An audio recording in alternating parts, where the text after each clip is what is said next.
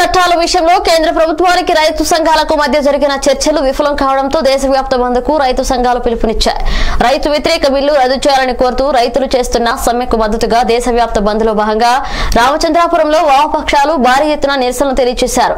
Ramachandrapuram Rajagopala centre నుండి main road మీదుగా ర్యాలీగా ఆర్డీఓ ఆఫీస్ వరకు వెళ్ళి నిరసన తెలియజేశారు. ఈ కార్యక్రమంలో జిల్లా సిఐచి కోశాధికారి మూలకాల వెంకటరమణ పెద్దిరెడ్డి రాము తదితరులు పాల్గొన్నారు.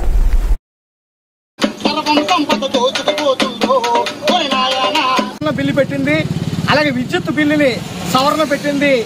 ఈ రోజున బీజేపీ ప్రభుత్వం ఉన్నటువంటి నూట యాభై సంవత్సరించినటువంటి చట్టాలని మార్చేయటం రైతాంగానికి కార్మికులకి మేధావులకి ఎవరికి కూడా నా ఈ దేశంలో నిలవ నీడ లేకుండా చేస్తూ ఉంది.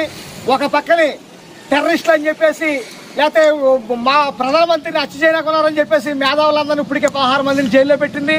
నా పేరు గాలి చిట్టుబాబు లోకల్ కాంగ్రెస్ నాయకుడిని.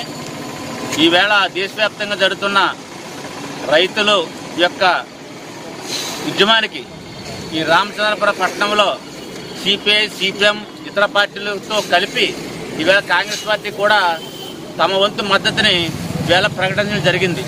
ఇది దేశానికి చాలా నష్టమైన బిల్లులు మూడు బిల్లులు. ఇలా కేంద్ర ప్రభుత్వం రద్దు చేయాలని రోజు దేశవ్యాప్తంగా జరుగుతున్నటువంటి రైతులు సమస్యల మీద బంద్ దేశవ్యాప్తంగా జరుగుతూ ఉంది.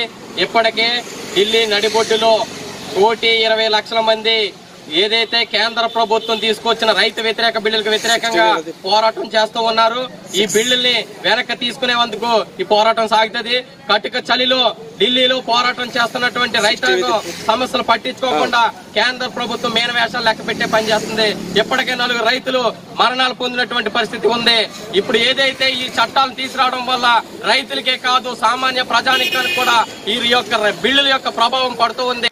వహించకుండా ఈ నిర్లిప్తగా ఉన్న ఆ యొక్క మన బీజేపీ ప్రభుత్వానికి వ్యతిరేకంగా మొత్తం రాష్ట్రం అంతా కూడా రైతుల బంధుకు పిలుపునివ్వడం జరిగింది.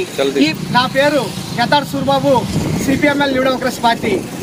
ఈ రోజు రామచంద్రపురం పట్టణంలో బంధు రైతాంగ బంధు నిర్వహిస్తా ఉన్నాం.